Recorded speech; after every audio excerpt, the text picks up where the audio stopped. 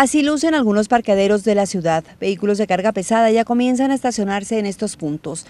En el decreto presidencial que, que, dice que tenemos que tener un piso tarifario, una estructura tarifaria, el gobierno se comprometió que en tres meses lo iba a implementar, han pasado más de un año y medio y no hemos tenido ninguna solución. Llevamos siete años con las mismas tarifas, con los mismos fletes y 300 pesos en una disminución del ACPM realmente no colma nuestras aspiraciones. Un número significativo de transportadores de carga pesada cesarán actividades en el departamento. Pues yo creo que la unidad de todos y, y, el empuje que le pongamos a esta inmovilización pues va a llevar a un feliz término, de lo contrario pues pasará como con los mineros, con los campesinos.